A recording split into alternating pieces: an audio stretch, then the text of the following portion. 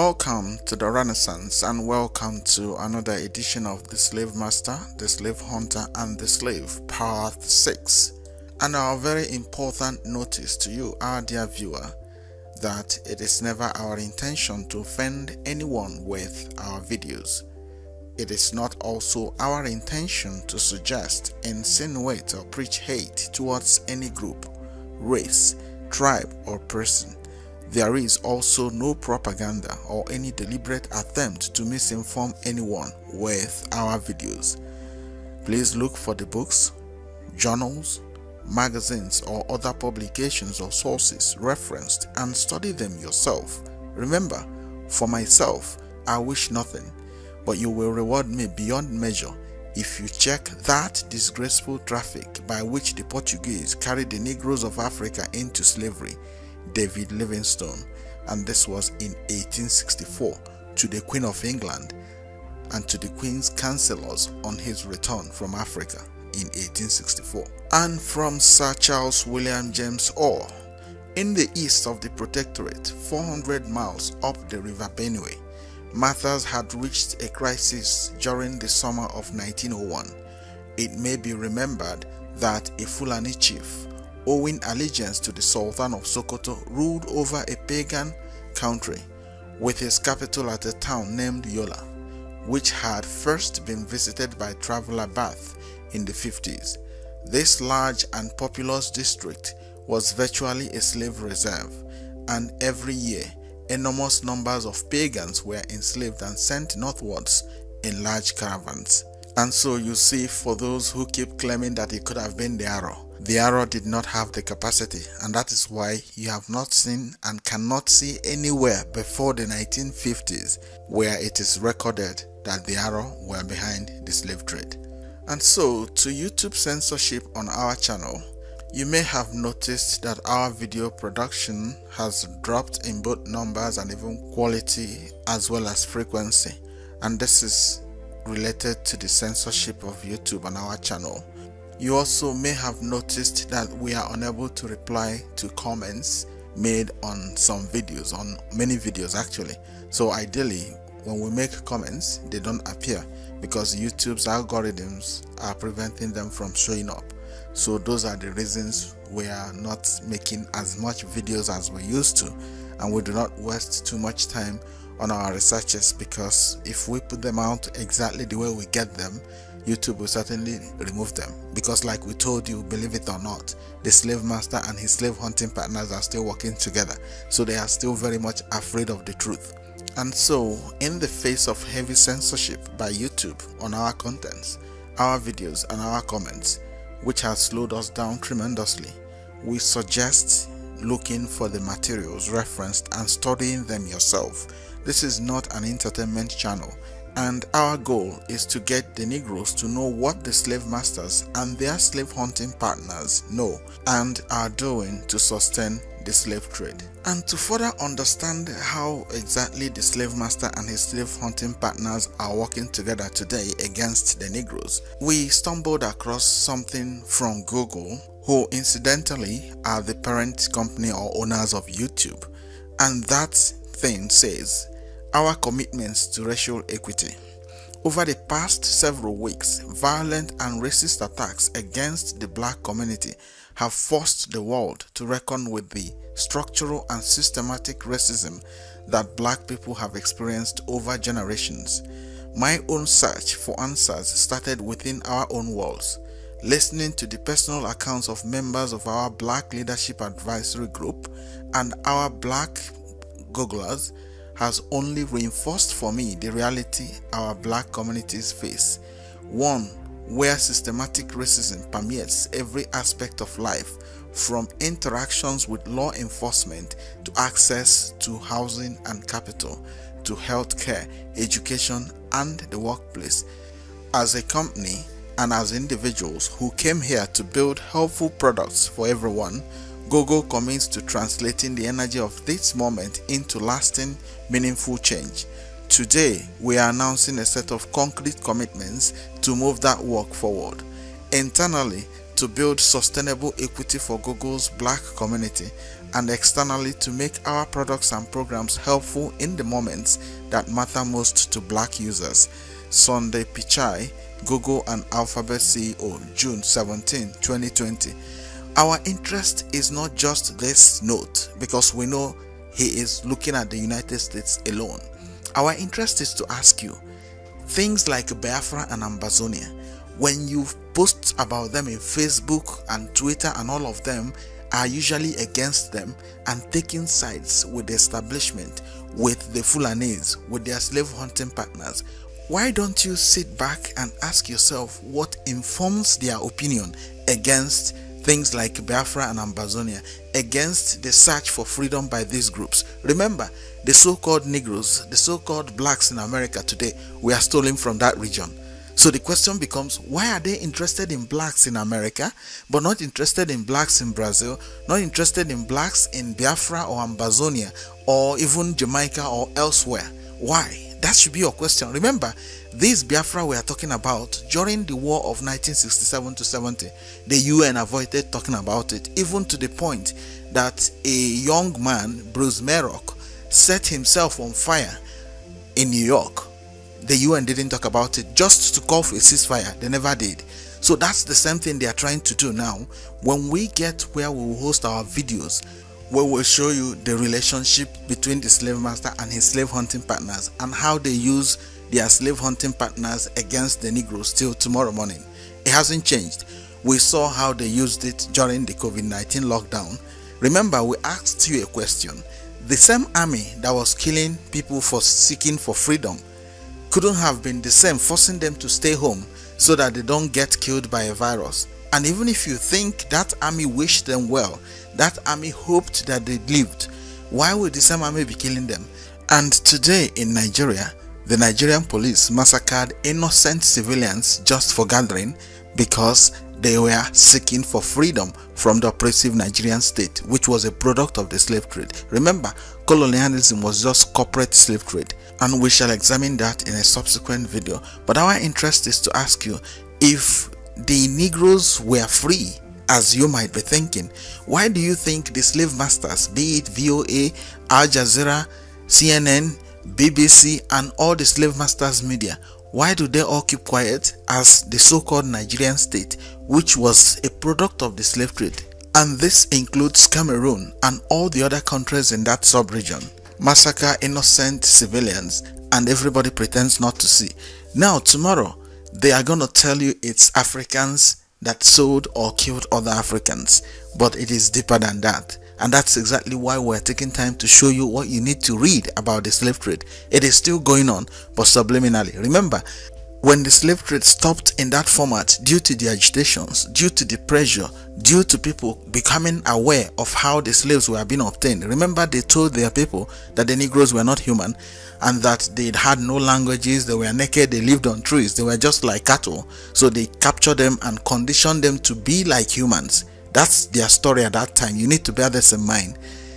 But when people started seeing that the Negroes were actually human and that the stories they were being told about who they were was a lie, that was when they started stopping it. England was a brutal slave hunting country, including Portugal, including Spain, France, Germany, all those countries were slave trading countries. Don't be deceived by their hypocrisy today.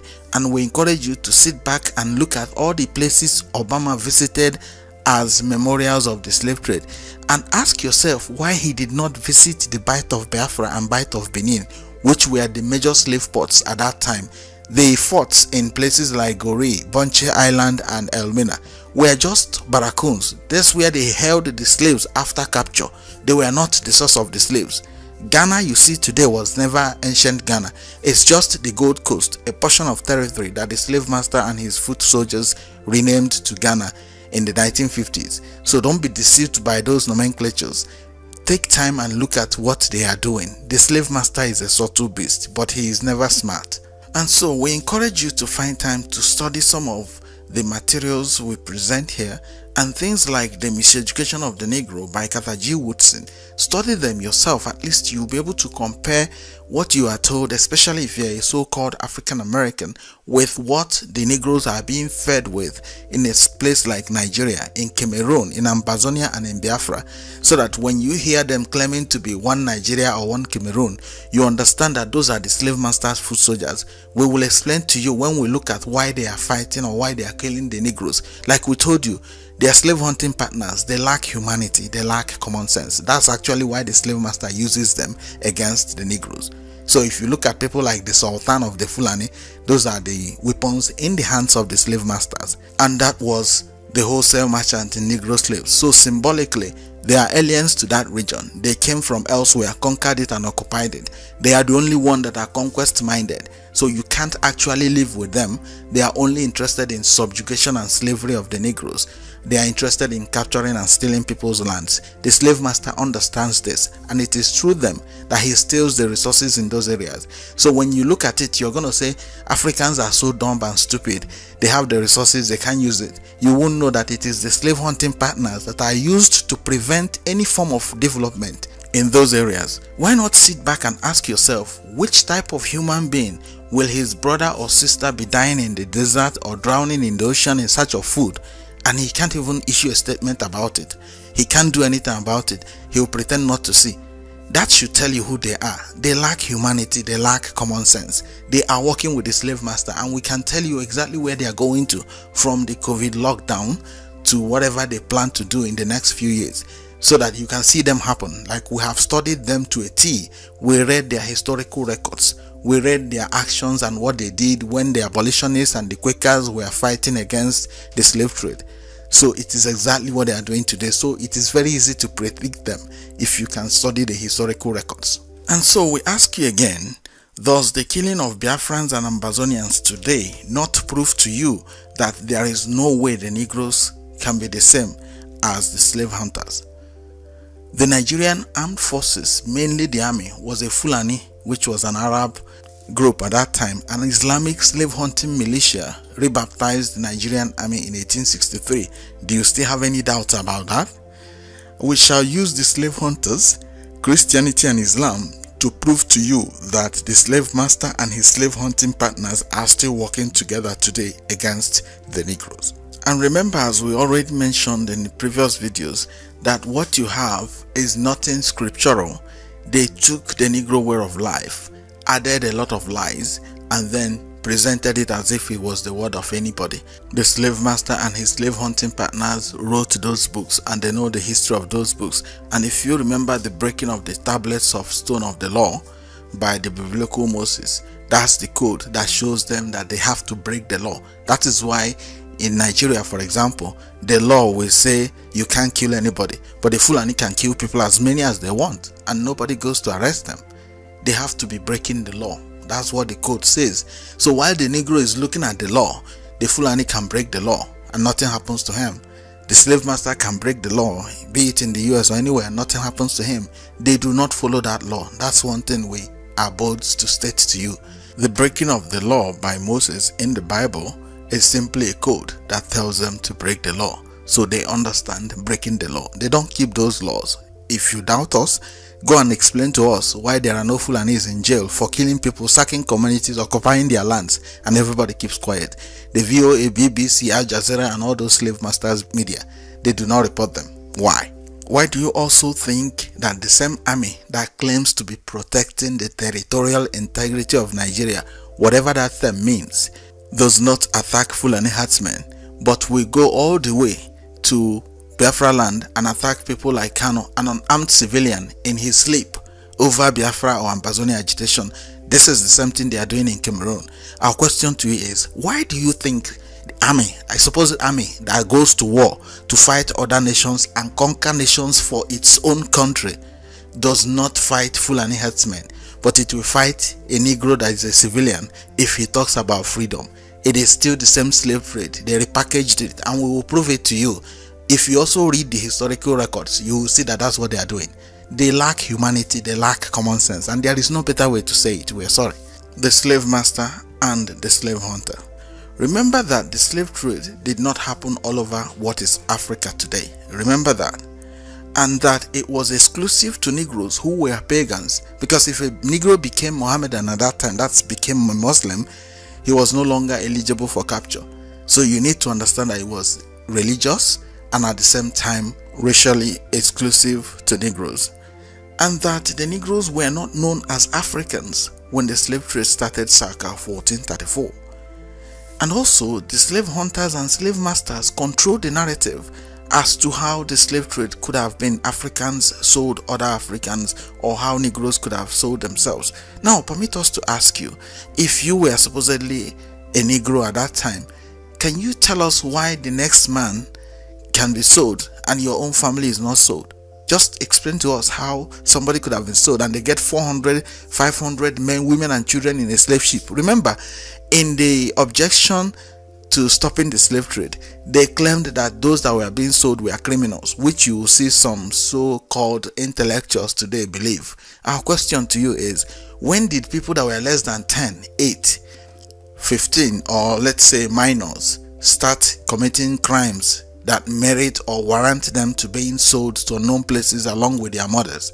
So remember, these are how the slave master came with all the lies, including things like Mary Slessor and how she came to stop the killing of twins and all those lies concocted by the slave master and his slave hunting partners. So you need to ask yourself that question. No matter what they tell you, always remember that it's impossible to have sold a man with his wife and his kids without some form of force. And you may have also noticed how the slave master and his slave hunting partners exonerated themselves from the atrocities. You notice how they succeeded in blaming it on the Negroes. The only reason they succeeded is because of their slave hunting partners. If you notice in the media, for example, the police killed innocent people in a meeting because they were seeking for freedom. The Nigerian army, which was a slave hunting militia, issued a statement claiming that they are now outlawed, they are now terrorists. Now tell us who gave the army that right, if not that code to break the law? Because they are supposed in a democracy, the army had no authority under the law to make such a pronouncement, if not because it was a slave hunting militia and conditioned along those lines that anyone asking for freedom is actually going against what the army was created for. We ask you again, how can an army, imagine the US army today, jumping out and making an announcement that any group, let's say NAACP, is now a terrorist group. Imagine that. That's exactly what they do there. Because the slave masters hide behind their slave hunting partners and engineer them and use them against the Negroes. You may not understand this if you don't understand the history. And so, do you then remember our videos on the enemies within and how they operate? Do you also remember our video on Fulanese, Fubi, Felata, Fula, Pulo, etc. as the enemies within? And how the slave masters media, feudalism, academics, conditioning are used to misinform, miseducate and deceive the Negroes? Do you also remember the slave masters Oxford University conditioning based on the politics of researching and writing on Africa? Remember, the slave master establishes a university where you can come and study your history. But the ones in your place are not supposedly up to standard. It is the one he will tell you in his own school based on his own curriculum. And you remember when we looked at that to ask you what do you think that means? You go to a university in Oxford and the part of what they teach you in your research methodologies is the politics of researching and writing on Africa. That is exactly where the code is also hidden. So even if you went to that school, you will come back just conditioned in defense of Massa and not that you could have learned anything sensible. And do you also remember that the armies in the sub-region were the slave hunters? You may have wondered why the army would be killing in a place like Nigeria and all the governments and all the so-called humanitarian organizations will keep quiet, even those that claim to be Pan-Africans and all those kind of garbage. And you wonder why the same people could have been killing themselves. But the simple reason is that the slave master ensures that his slave hunting partners are in power in those countries. They know how to look the other way as innocent people are being massacred. Why not ask yourself why somebody whose siblings are drowning in the ocean or dying in the desert cannot seek for a solution? He would rather pretend not to see.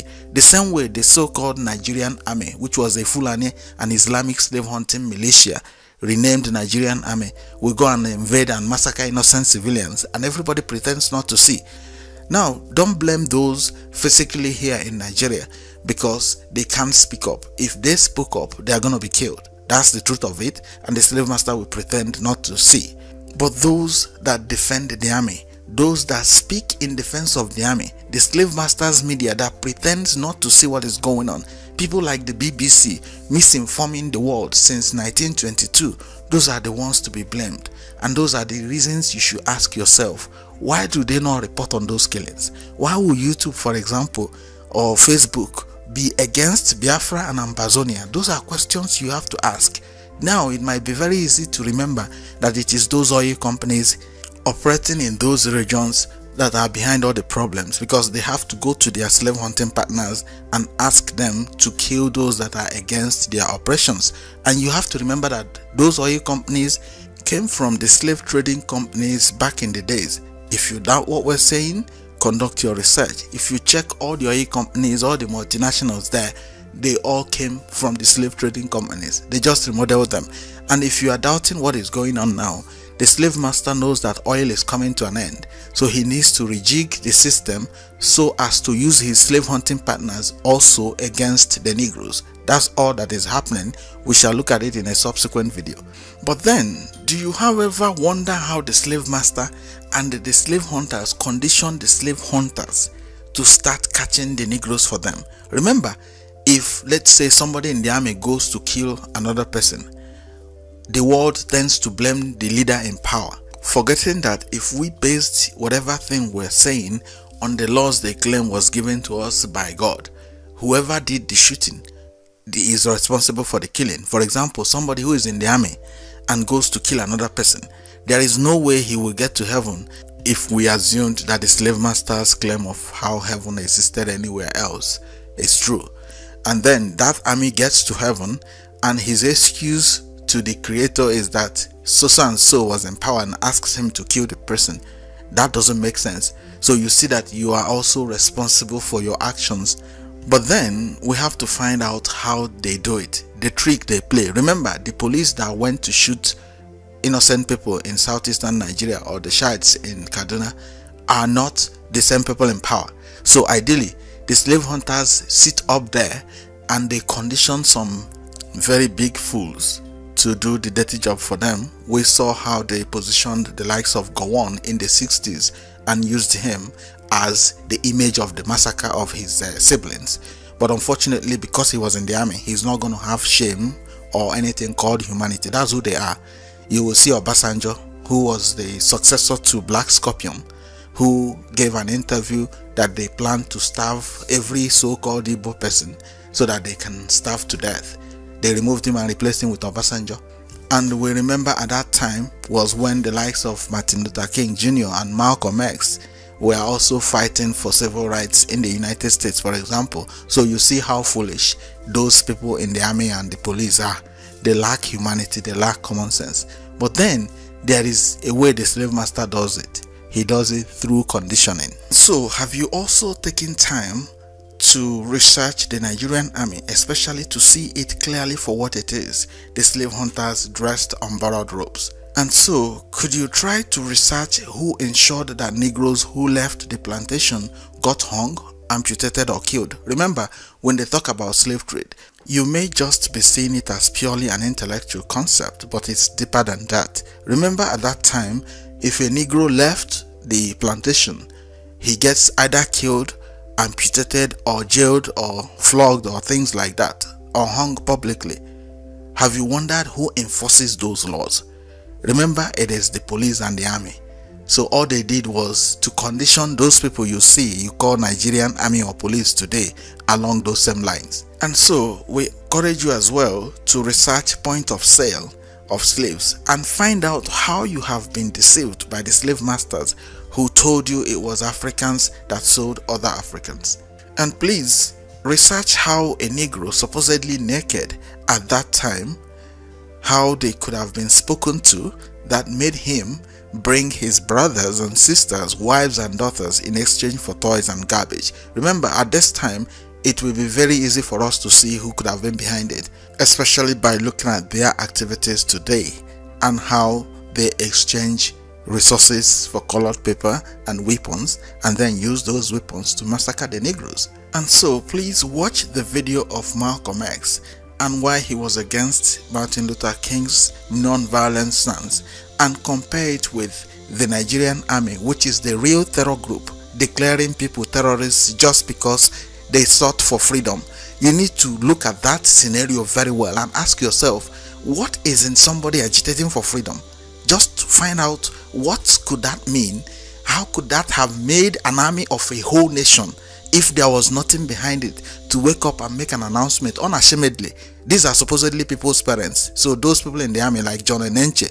And you notice that each time they position a Negro or a Hamitic group that is not Fulani to make some pronouncements, it is just the same way they did with Gowon they are coming with a lie. They know that those are shameful, but they have to use a fool, somebody conditioned to do that for them. You don't need to believe us, you just need to read their footsteps, read the historical records, so you understand what is going on. So please uh, listen to newly recruited cadets of the Nigerian slave hunting militia called Nigerian Army to see how they were conditioned to become slave hunters. This will give you a little idea of what they go through in the training and what they are told. Remember, it is like a computer, whatever they input contributes to the output, and the slave master already believes that the Negroes are just not human. So you choose what you got to input into them to get what you want. So if you want to use them as beasts of burden, you just have to condition them to be that. So the same way these so-called Nigerian army cadets have been conditioned to become something like slave hunters. So this will explain to you why they can be sent to go and kill innocent people and they go do that. And before you do, let us reference Cardinal Lavigerie and the African Slave Trade edited by Richard F. Clarke and this was published 1889 and here we are told that a slave dealer, he relates, was once asked how he penetrated into the heart of Africa and who was the ruler of those remote regions. I will tell you the name of the monarch of Central Africa, he replied, laying his hand on the weapon he carried. It is King Rifle. This answer is true enough. Were a law to be passed prohibiting the Arabs and those merciless marauders, the Metis, from carrying firearms and purchasing ammunition, and were every infraction of this regulation made punishable by banishment, it would in a short time have the effect the cardinal asserts of ridding those provinces of Africa of which Europeans have obtained possession on the three or four hundred their numbers do not exceed this figure human fiends who carry off or destroy millions of helpless victims in concert with the native chiefs to whom they have taught the creed of Islam and the art of slave hunting. So you see that one, it was King Rifle that made it possible for him to get there. So anybody that is telling you of how Africans could have sold other Africans, just sit back and ask yourself how a man could just be sold and he'll be standing there. That narrative alone makes the Negro subhuman. Remember, it means a man will just come out and you say, I've sold you. He stands there. The man takes him and goes to sell him and he continues to go. You need to bear that in mind. This is a lie the slave master and his slave hunting partners have used to misinform and deceive the Negroes for a very long time, but no lie lives forever. What do you have to say? So what do you advise? Okay, I love that. I love that. Uh-huh, that's good. I love civilians. They are very useless and hopeless. If Okay. I tell them, body go tell them. Uh-huh. Tell them somebody that press my